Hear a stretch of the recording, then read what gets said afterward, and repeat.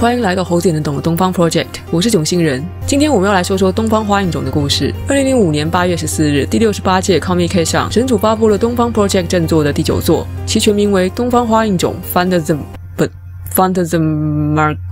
哎，这到底怎么念啊？Fantasm Margoria of Flower Field，大概吧。有趣的是，作品标题英文部分是参照第三作《东方梦时空》f a n t a s m a r of Dream Dream） 而来，不过两作的故事并无关联。故事开始于幻想乡的春天，在这温暖的季节，百花齐放。可是放的简直有点太过头了。具体来说，本该在不同季节盛开的花，居然都开了。于是少女们很快就察觉到这次异变的发生，她们怀着各自的理由，出发去寻找解决异变的方法。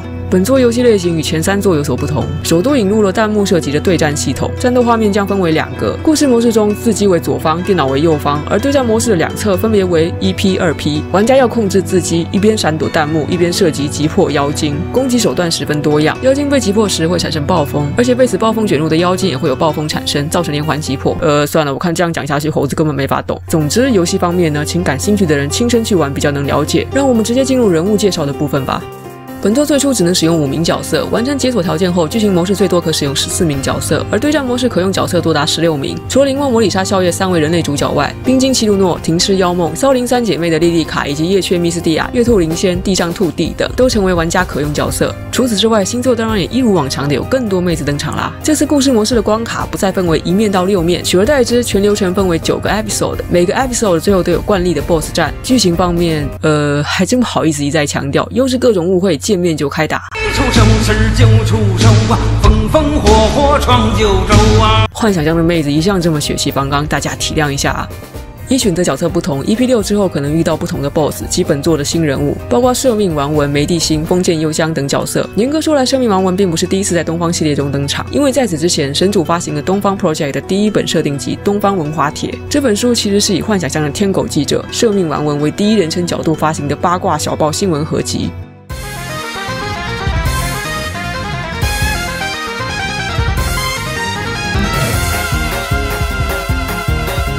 接连经过雾之湖、妖怪兽道、冥界白玉楼、迷途竹林等地图，玩家会在大蛤蟆之时遇到一名偷拍照的天狗，它叫做赦命王文，是飞行速度很快的压天狗，其称号为传统的幻想树屋。外表特征为黑色翅膀、白色上衣、黑色短裙和高跟的木屐。平时手持相机和团扇，相机用来拍下各种有趣事件，团扇是起风的道具。它拥有一本叫做《文化帖》的笔记本，用来记录下能写成新闻的题材。它拥有操纵风的能力，能瞬间吹起狂风或龙卷风，又能让风停止。文性格聪明、认真、思考。敏捷，虽然不喜欢战斗，却喜欢到处挑衅滋事。因为对方通常不是他的对手，只能忍气吞声。他平日喜欢在幻想乡飞来飞去，和天狗交换情报，时不时到处收集女孩子的传言。听说天狗社会的报纸都是艺人制作的，偏见也很严重。文自己发行的报纸叫做文文新闻，读音为 Boom Boom Malo 新闻，上面写的都是一些乱七八糟、没什么参考价值的八卦，是幻想乡的妖怪和人们拿来打发时间的读物。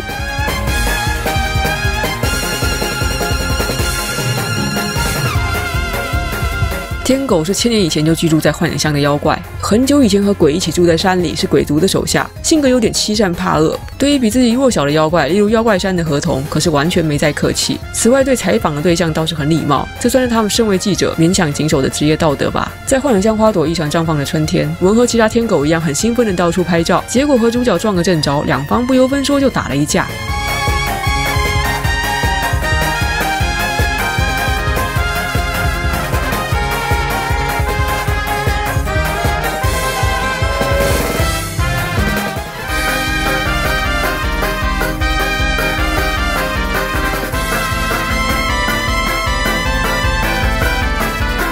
梅蒂星梅兰可丽的称号是小小的甜蜜毒药。出没于无名之秋是个外表如小女孩的人偶，长着一头金色短发，穿着黑色上衣和红色裙子，身边伴随着一只长着翅膀的小小人偶。很久以前，梅蒂星被抛弃到铃兰田里，经过悠久的时间，演变成全身充满剧毒的妖怪，拥有使用毒药的能力。他人仅仅是摸到一下手就会烂掉。由于还只是一个年轻的妖怪，他的经验和知识严重不足，甚至比普通人类还无知，给人毫无防备的印象。不过正因如此，他下手不知轻重，还会通过毒药来操纵人类。由于人人偶都是被人类操纵的。梅蒂星很希望去解放人偶，不过目前还没有获得人偶的支持，这也是当然的，因为其他人偶不能依靠自己的力量行动。出于这个典故，一些二创作品中，人偶是爱丽丝为了探究梅蒂星演化成自律人偶的奥秘，时常主动与他接触，两人之间因而展开小插曲。毒也是一种毒药，传闻精通药物的永灵与他是朋友，不过永灵或许只是单方面的把他当成研究对象吧。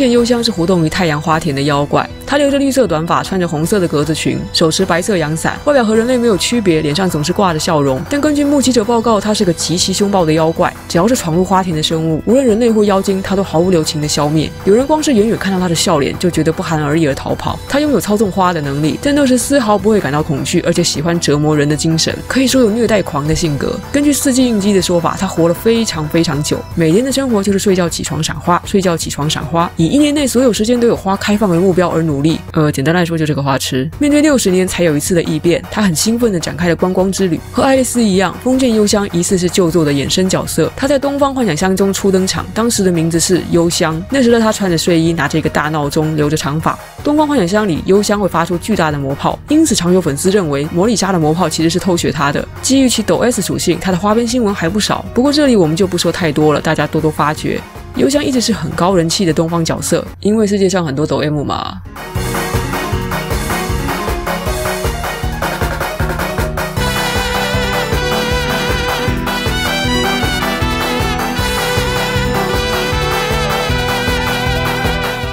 时，魔法森林深处的小道被彼岸花掩埋，染成一片红色。要自杀的人在这条小道上行走时，毒入侵体内，在不可思议的体验和不快感交集下，将涌现活下去的勇气，就是会想再活一次而回头。所以这条小道被称为再思之道。今天由于异变，彼岸花也无意外的绽放着。如果沿着小道前行，将会遭遇一名本该忙着工作却漫不经心打混的死神。他的名字叫小野中消停。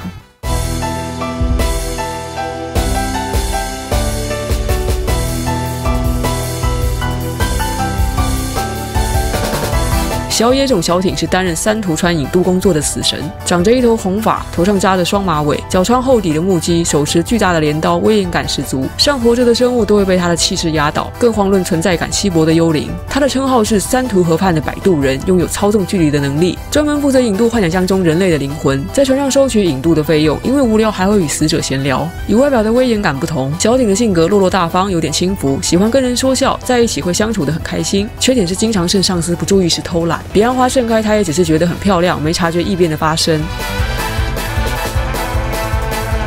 平安时代有一名叫小野小挺的女和歌歌人，传说是绝世美女。她死前留下了一首和歌：“如果我死了，不要烧掉或埋掉，扔到荒野里，让饥饿的狗得以饱餐吧。”她死去的地方通常叫做小野冢。小野冢小挺的名字，听说就是来源于此。不过，关于这个东方角色最有名的传闻，该处他被怀疑是某位英雄联盟的角色参照。曾经有外国网友声称，他在找资料时发现了 Riot 员工流出的资料，指出二社正在进行一个代号叫 Komachi 的新英雄开发。Komachi 及小艇的日文发音，这位英雄是一个外表以红色系为主的坦克角色，手持镰刀。但 Komachi 的设计最后被腰斩了。后来这个发想被回收，随之推出的新角色是瑟雷西。尽管网上的相关记录已经无从追寻，从英雄联盟已出现过如此多参考东方设定的旧账来来看，很多玩家相信瑟雷西的原型就是小野种小町。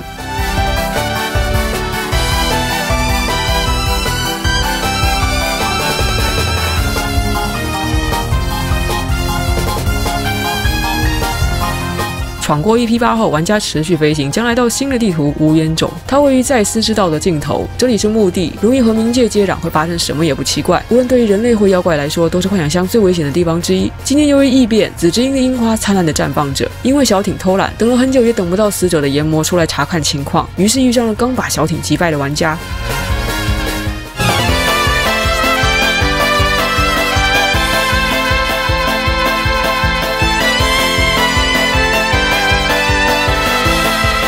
四季应激亚麻萨纳度是众多研磨中的一位，他的工作是判决幻想乡的死者，称号是乐园的最高裁判长，拥有判断是非黑白的能力。名字是四季应激亚麻萨纳度是官职名称。他戴着类似皇冠的官帽，深蓝色的官服，左手和右手袖子绑着白色和红色带子，手持的悔悟之棒不是炸虾，是用于书写受审者罪孽和处罚的道具。人类生前犯下了多少罪，会被棒敲打的次数成正比，棒的重量与此人生前犯下罪孽的深重程度相等。罪孽的惩处制裁与法律无关，而是由研磨的一一己之见裁定。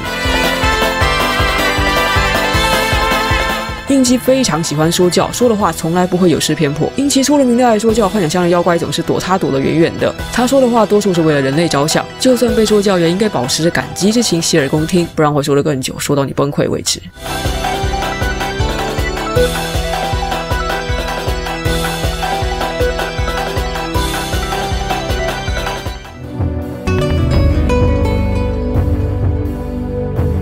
应激十分在意幻想箱的异变，起先还在想为何小艇的船还没把死者送过来。等他再次观望幻想箱时，却发现那里已被花的海洋所淹没。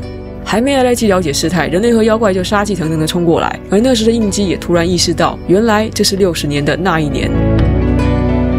这是我们第二次提到“六十年”这个词了。所以说，花园种的异变源头究竟是什么呢？实际上，游戏的对白和附带文档都交代得很隐晦。当玩家一条一条路线玩遍每一个角色的路线后，将越来越明确六十年意味着什么意思。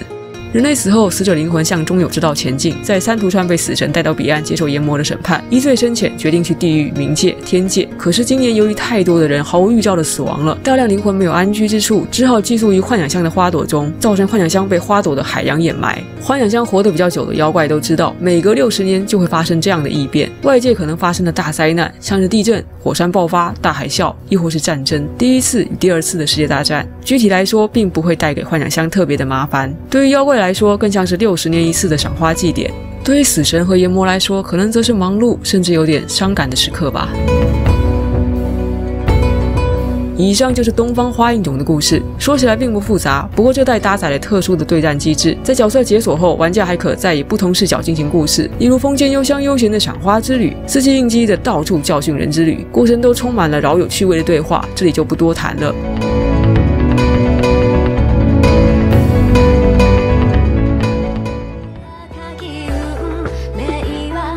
下期将会介绍东方振作系列的第二个小数点作 T H 九点五的东方文化帖，顺便来简单谈谈目前我们已经提及过不知多少次的东方官方设定集，也是叫东方文化帖。至于什么时候更新嘛，实在实在太忙了，不敢保证，差点因为我这个月要爆肝而死了，争取在三月底或四月初吧。猴子也能懂的东方 Project，我们下期见，拜。